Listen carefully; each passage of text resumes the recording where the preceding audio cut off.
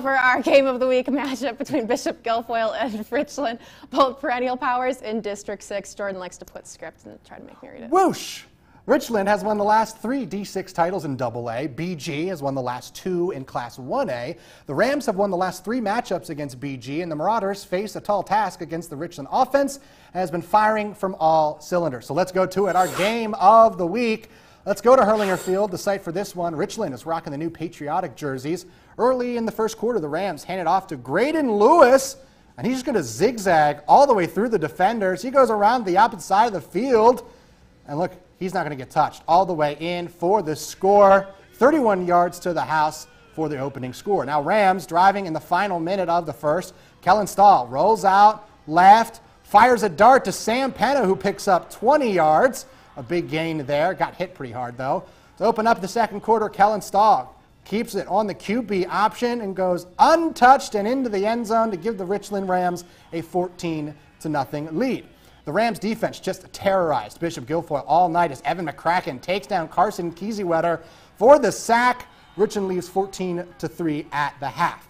Same score, five to play in the third, and the Rams hand it off to Graydon Lewis, who scores his second touchdown of the game, and that gives the Rams a 20 to 3 lead. Now Richland puts this one away in the fourth quarter. Stahl, rolls right, finds Griffin LaRue open for the touchdown. The Rams approved a 3 0 and a 28 3 win. We go down to Ryan Risky Business with the reaction from the Rams. Richland improves to 3 0 this season with a 28 3 win over Bishop Guilfoyle. I'm here with Graydon Lewis, and Graydon, the run game was really working for you guys. How were you able to get it going so early? I mean, we just came out knowing they're a tough team and pushed them back when we needed to and made plays when we needed to. And it's you guys were getting big chunks of yardage and small chunks, and there was a lot of plays where you're getting four, five, six yards. How key is it when you're able to just pick up small yardage situations and grind away at a defense? Oh, it's a huge key. It gets everything else going. It gets our pass game going, which we're a very balanced offense, and we just made big plays when we needed to off of that. And how's everyone feeling now? You're three and zero. Oh, we feel great. Yes, sir. Amazing. All righty, Evan. You guys only allowed three points today. How proud are you guys not allowing a single touchdown?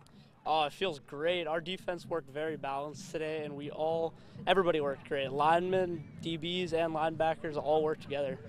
And what was the key to completely shutting them down offensively? Film and just repetition.